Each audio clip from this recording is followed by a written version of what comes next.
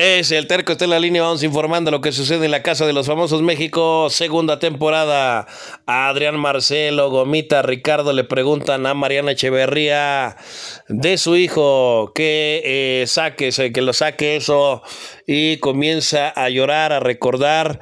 Dice que su hijo le gusta mucho en las noches, que le eh, eh, lea un cuento, también que se lava los dientes y se acuesta y cuando no está ahí, ella en, su casa le envía un mensaje a su hijo para avisarle que ya hizo eso.